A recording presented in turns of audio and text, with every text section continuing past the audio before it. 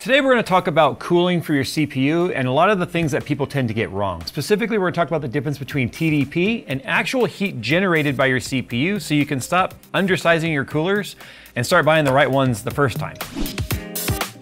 Introducing the XTM3 from Phanteks, micro ATX chassis built for power and performance. Compact yet packed with potential, the XTM3 features support for rear connect motherboards, dedicated radiator space at the top, and triple fan locations at the bottom to help keep your GPU cool. With its innovative layout and sleek, clean design, the XTM3 is ready to take on almost any gaming PC configuration and cooling challenge. Check out the link in the description for more details.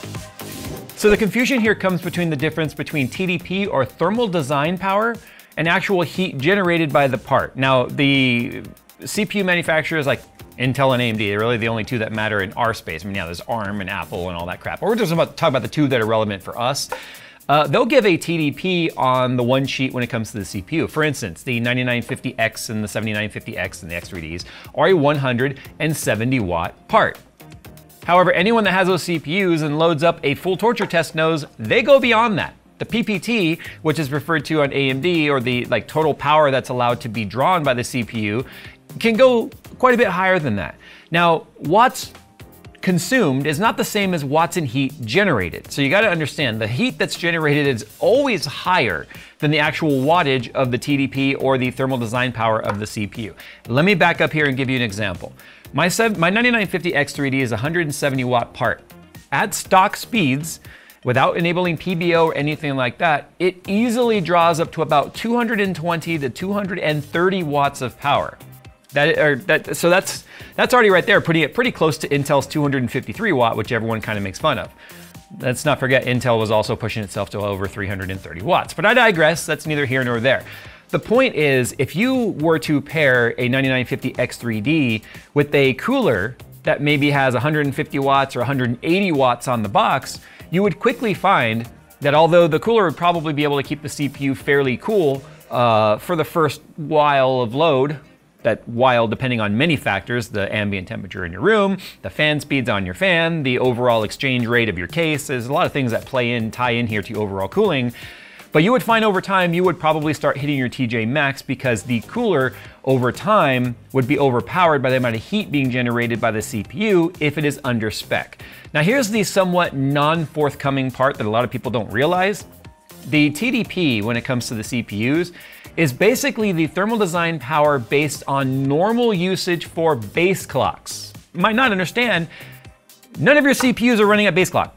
In fact, the Intel 14900K has a 125 watt TDP at base clock. So it looks good on paper to say, hey, we've got a 125 watt part.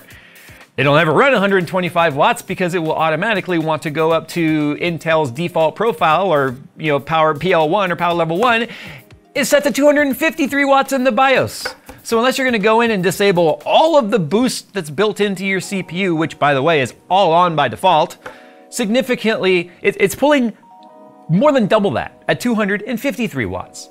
So if you were to just look at the specs on paper and say, well, I, you know, this is a 100 watt, be quiet, low profile cooler right here. You might look at this and go, well, that's only 25 watts shy. Maybe if I undervolt a little bit, I can get away with it. No, you can't. As many of you probably already realized on your own, if you get a cooler that is under spec for your CPU and you start undervolting, you're gonna start losing clock speed with it too, because clock and voltage and wattage are all like they they they all work in harmony with each other. So to get the full clock speed, you need the full power limit available to it in its boost or tau or turbo time. Like all of these factors that are built into CPUs now all have to be met to get the full advertised speeds. So you've got a base speed, which none of the brands really like advertise heavily or are all that proud of, but you've got your boost speeds, which are up to overclocks, which are automatic overclocks over base clock. And that is where the TDP numbers that you can see on paper can basically just be thrown out the window. Now, the same thing happens with GPUs, although most people are not going out there and changing out their GPU coolers, although you used to be able to do that back in the day. You could buy some third-party GPU coolers, you could slap on a NVIDIA or AMD graphics card, increase your cooling.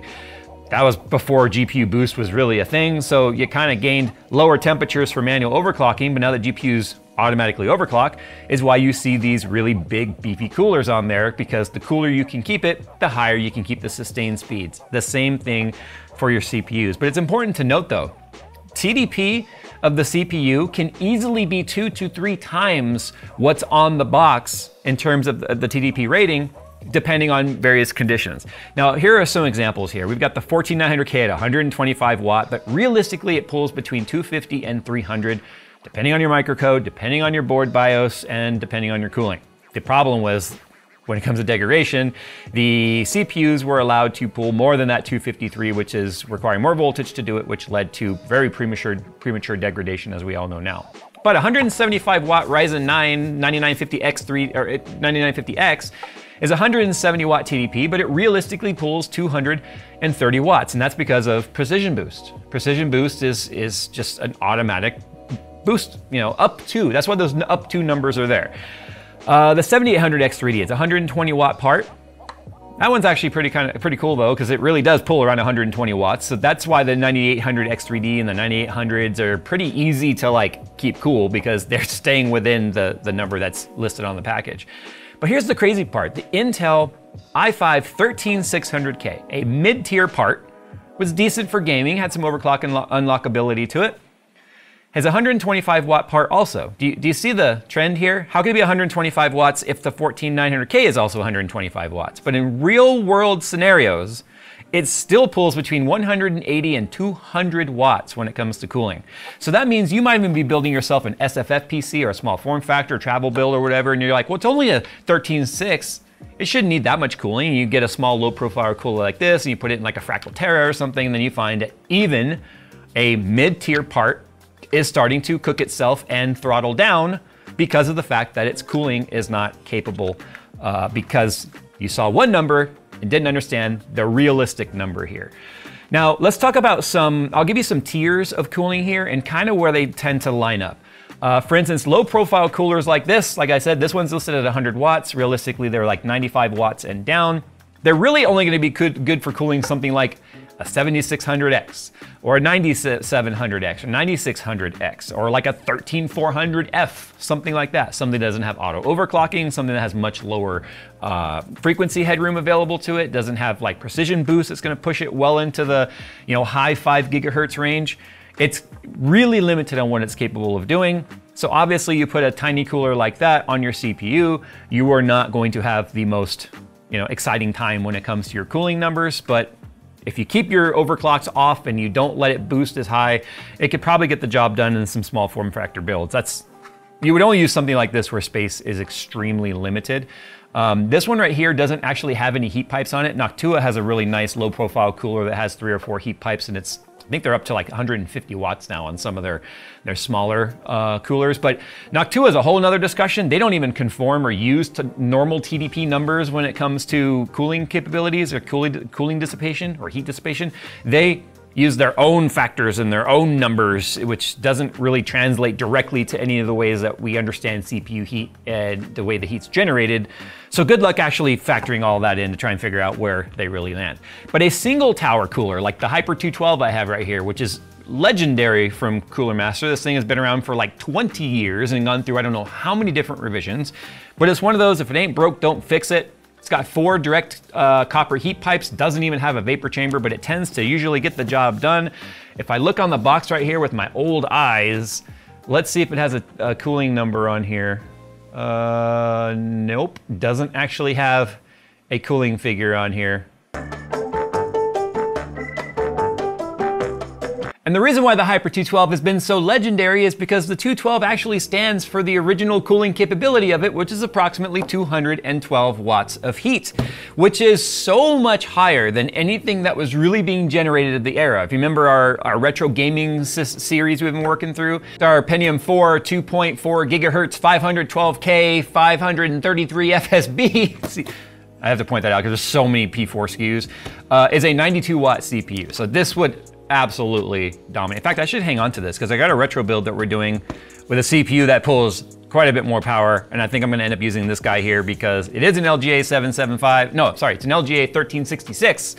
And they still supported. So I think I'm gonna cheat and use this 212, which I've never used. But anyway, single air tower, single fans like this are good for about 150 to 180 watts, or if you're Cooler Master, up to about 212. So it's really good for like Ryzen 7 models, maybe Ryzen 9 models that are that you're not pushing the overclocks on, or maybe you go in and do an undervolt on. Because remember, volts directly relates to heat because amps times volts equals watts and vice versa. You can flip that algorithm or that formula around however you want. They'll always equal each other, just like watts divided by volts equals amps.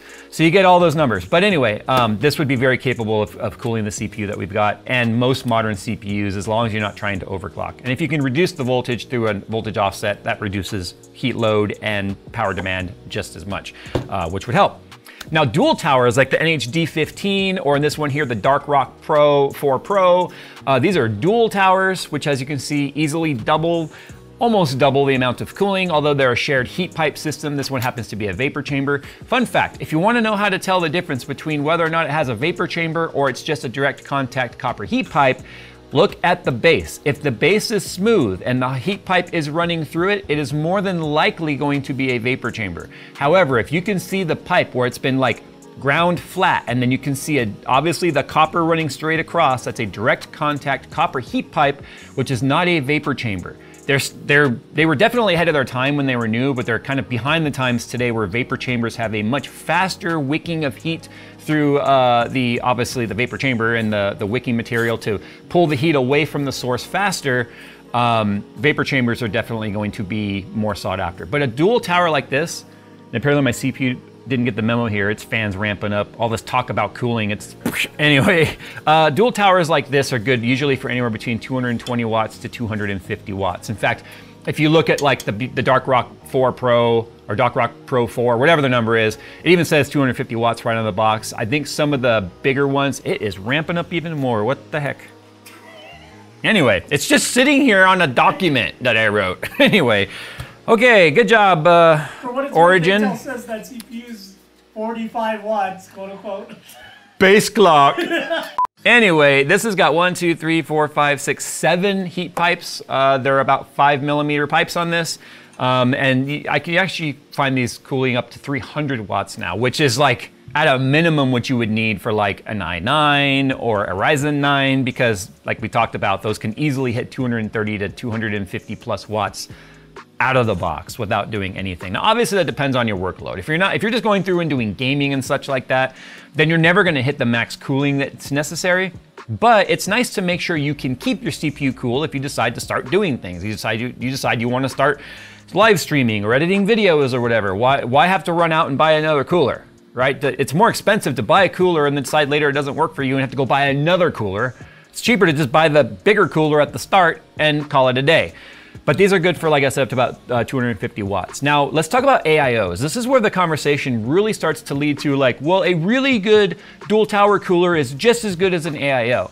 Well, the crossover tends to be usually on nice dual tower coolers like the NH-D15 or the Dark Rock Pro. Uh, at about 250 watts is where a 240 millimeter AIO is generally capable of cooling. So that's where they kind of intersect. Now, no cooling tower is gonna be as good as say a 280 millimeter AIO or a 360 AIO, or in this instance, a 420 millimeter AIO. As the radiator gets bigger, the thermal capacity of the system grows quite a bit. Now there's a, there's a logarithmic formula there that you could look at if you want it, but again, they're all affected by many factors. The fan speed, the fan pressure, the CFM of the fan, the cooling capability of your case, and the ambient temperature of the room at which the CPU or the PC is in. All of those things create an envelope within an envelope within an envelope that all have to be considered when it comes to cooling. Now, AIOs tend to be one of those points where people sometimes aren't comfortable with it because they have a much higher chance of having a failure because of the moving parts in it, right? You've got fluid, which can age or start to corrode over time. Some AIO brands have had a really bad job at making sure they had good anti-corrosives. Um, they're aluminum radiators with a copper heat plate. So they're mixed metals, which means even though you can use proper fluid to make sure that galvanic corrosion is not accelerated, it's still gonna happen over time and eventually they do wear out. Um, the pump can stop working. Obviously, you could spring a leak, which makes a lot of people worried, although when's the last time you really heard about an AIO leaking? It's not super common. Uh, they just have more moving parts that can fail. Obviously, um, the evaporation through the tubing is something that can happen, so they start to gain air over time, which is why AIO brands have started adding refill ports so you can top it off, get more life out of it. The only moving part on a cooler is the fan. And if the fan goes bad and stops working, guess what? Your CPU doesn't immediately skyrocket to temperatures and do a thermal shutdown because non-moving of fluid means a runaway on temperature. There's still passive cooling that can happen and you have you may not even notice your CPU's not work or your fan's not working for a while. Um, the only moving parts is the fans, and those are easy and cheap to replace if necessary. But a 360 AIO can easily cool up to 320 watts, and then a 420 and custom loops can easily cool up to 400 plus watts. So as you can see, it can obviously scale up. So if you're trying to buy like a high-end CPU, like an i9 or a Ryzen 9, then the only way you're gonna be able to really push the limits of the CPU, get the full clock speeds sustained and not have those drop over time, is to overbuild your cooling, which is never a bad thing. You can never have too much cooling, but you can definitely have too little. It's kind of like thermal paste. Uh, with given the fact that you can buy 360 millimeter AIOs for under $100 from reputable brands, I mean, realistically more like 65, 70 bucks, I think it's worth to just buy two or three of those and have some spare ones on the shelf to be honest, because look at how much an NH-D15 is. They are not cheap. These are like, those are like $200 air coolers, right? If you can buy three 360 AIOs from like Thermalright for less than that, just, do that, I guess. Then you have spare parts and a spare AIO and they're easy to swap out. Just don't get confused about TDP. That's something that so many people still get wrong these days is they, they look at the TDP and they're kind of caught in this this marketing war where brands want to quote like peg themselves as being the most efficient, but that's because they're only comparing base clocks, and that's not realistic. That's not real world scenario. The CPU never runs at base clock unless it has throttled itself down to there, which means something is obviously really wrong. Uh, anyway, I just want to kind of have this discussion here. I still see a lot of people uh, get really confused about how much cooling they need. Let's just run down a couple of CPUs real quick. Like the AMD 7600 Non-X is a 65 watt part, but that still pulls 90 watts uh, realistically under sustained load. Uh, the Ryzen 5 7600, 7600X is a 105 watt part that can pull up to 130 watts. 7700X, 105 watts up to 140 watts. And then 7800X3D is a 120 watt part that runs at 120. It's like the only part that actually runs at its advertised speed. And you know why? Because of the 3D V cache and the sensitivities regarding 7000 series and how it was inverted. And the cache was touching the IHS, not the core, so they definitely didn't have headroom available to them. But the 9000 series does. So that's why we see the 9000 series X3D CPUs for the dual CCDs go higher from 125 watt, uh, or excuse me, 170 watt base up to a realistic 230 watts under sustained load. Anyway, that's where you gotta that's where you have to kind of ask yourself, like, what are you doing with your with your system? If you're just building a gaming rig and you know you're not gonna be doing anything else besides gaming, you could more than likely get away with a big air tower cooler like this on any build and be just fine. Where you're gonna notice it though is if you start doing anything that really tortures the CPU and is extremely CPU heavy. But fortunately, most creative suites these days offload all of that encoding onto the GPU anyway.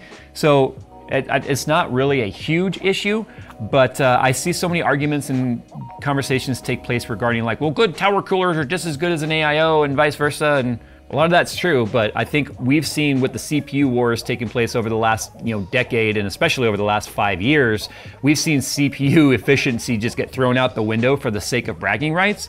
And now it's showing up when it comes to uh, inefficiencies on modern coolers or an under-spec cooler. All right, guys, thanks for watching. I uh, hope you've learned something today. Share this video with someone you think it might help or anyone you've been having this discussion with. And as always, we'll make more videos like this regarding the stuff we see you guys asking and talking about. We'll see you in the next one.